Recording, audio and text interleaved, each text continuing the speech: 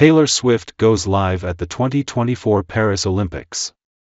On Saturday, July 27, after finishing her first concert in Munich, Taylor Swift posted a video on her personal Instagram page. Taylor Swift included an important announcement and clips of Team USA athletes discussing the competition. The recording will come from her record-breaking Eras tour, which is currently docked in Germany. Taylor Swift is busy with her European tour, but according to her schedule she might attend the 2024 Paris Olympics. For example, she does not have a concert scheduled on August 11, the day of the closing ceremony.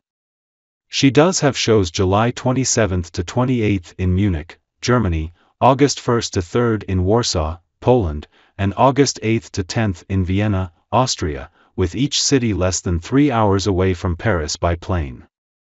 Considering Swift made it to the Las Vegas Super Bowl February 11 after performing in Tokyo, Japan, February 10, it's certainly possible for her to make an appearance in Paris.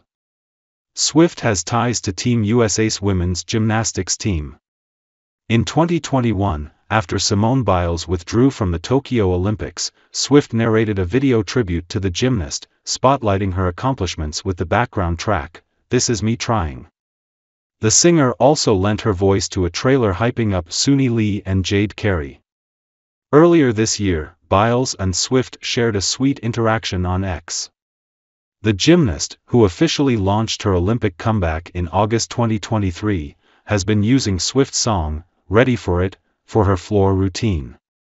Watched this so many times and still unready, Swift said in a tweet, responding to a video of Biles' performance at the U.S. Olympic Gymnastics trials. At the end of Saturday's video, Biles pops up on screen and says, Are you guys ready for it?